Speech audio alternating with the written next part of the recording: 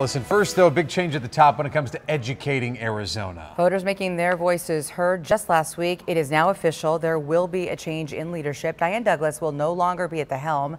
Our John Treweller is live this morning with what happens now and who is taking over.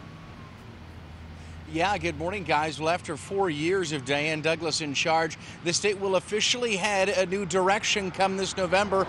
This all after Republican voters speaking out and showing their support at the polls and ousting Douglas. Now, these are the final numbers out this morning. Douglas finished a close third in the primary election behind Frank Riggs and Bob Branch. Just 359 votes between Riggs and Branch. A, a very close race. Douglas ran for office four years ago, focused on on replacing the unpopular Common Core curriculum.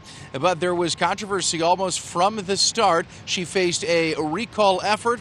The president of the state school board resigned in protest. She clashed with Governor Ducey over a number of issues. So after one year, GOP voters said they have had enough. This November, two very school choices for the voters. You have Democrat Kathy Hoffman, who has taught in Arizona K through 8 and is a Red for Ed supporter. She'll face Republican Congressman or or former Republican Congressman Frank Riggs. He's now a charter schools executive, touting his leadership on school choice and local control. Speaking of Red for Ed, yesterday, Dan, was National Red for Ed Day. A lot of teachers and educators out in support of their voice and their mission. They'll be out again today with some grassroots grassroots efforts. We'll break down exactly what they have planned and what they'll be doing. We see you back out here in just a little bit.